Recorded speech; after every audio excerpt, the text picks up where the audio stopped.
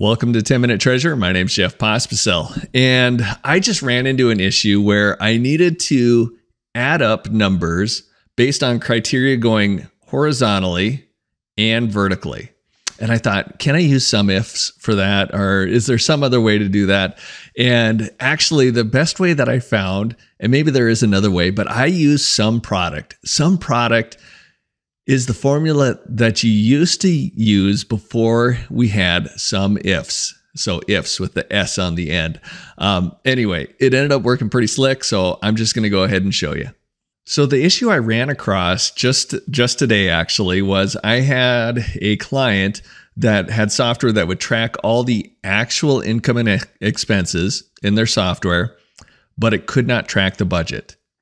And so a lot of times what we used to do with this client is we would just divide the budget by 12. So it's easy to add the add the annual total and then add a multiplier in there and maybe put what month number it is right here. And you could go ahead and do that and it will um, give you something. But there's a lot of income and a lot of expenses that just don't that it would be foolish to plan 1 12th every single month.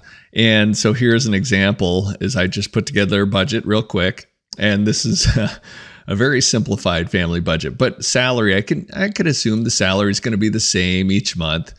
Uh, my mowing income probably not going to do a whole lot of mowing in in January, February, and March, but that'll pick up and then it'll slow down again. Uh, miscellaneous income, I just uh, did one twelfth for that, or the same amount each month. Same with mortgage, but utilities that'll go up and down as well.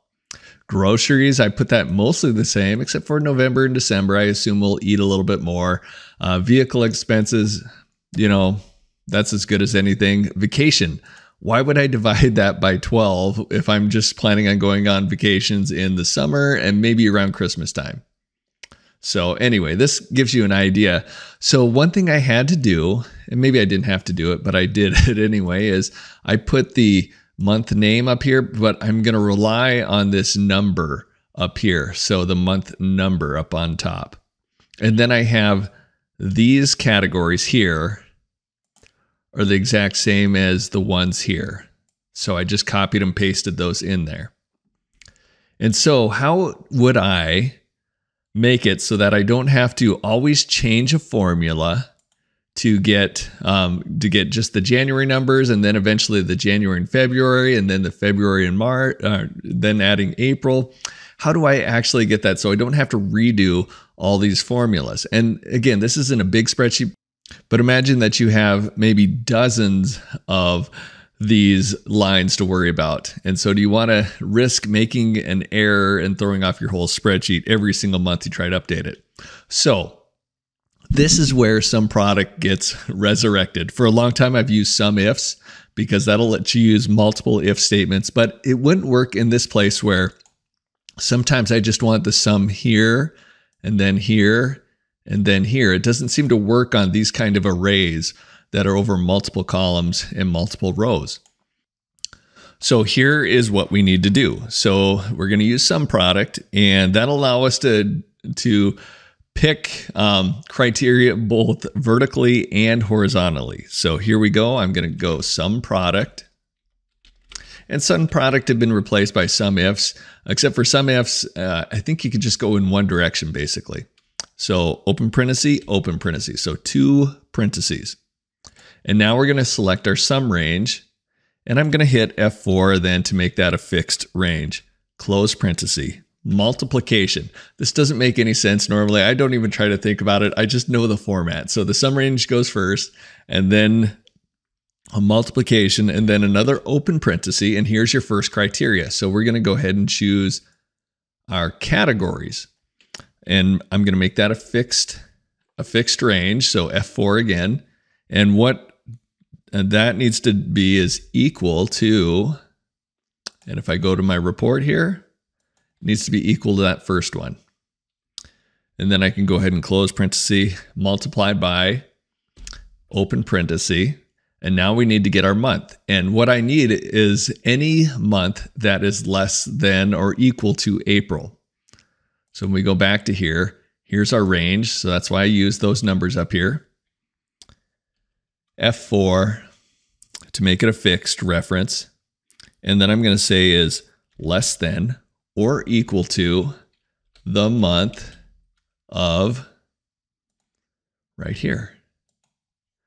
And I see that it tried to add in um, a range there. I don't want that. So, but then I do want to make that a fixed reference. So I made it F4. So it has the, the dollar signs right next to there. So you can see that there. And then I'm going to do a close parenthesis, close parenthesis. And I don't know what I missed. I must have, oh, I needed to have a one more parenthesis because the month. So there's actually a bunch of close parentheses, three there at the end. So now that says 16,000. So if I were to change this to March, you're going to see it automatically adjusts. If I were to change it to November, uh, it doesn't even matter what year or anything, but it's just looking at at um, the month is what it's looking at. So anyway, but that's correct. Four thousand times eleven. So I'm going to go back to four thirty twenty five, as long as it's a valid valid month. So if I were say, to say four thirty one, it doesn't like that. The thirty first of April is not a valid one. And now all I need to do is go equals our copy and I'm just going to highlight the next cells and paste formulas. So you can see it right there. And that'll automatically do it. So it says I probably was thinking I'd have some mowing income here, but I didn't. I'm going to go ahead and do the same thing here. I could just go ahead and copy and paste those formulas. And now I could quickly and see, easily see that, okay, I thought I was going to be about 8,000 in the black by now.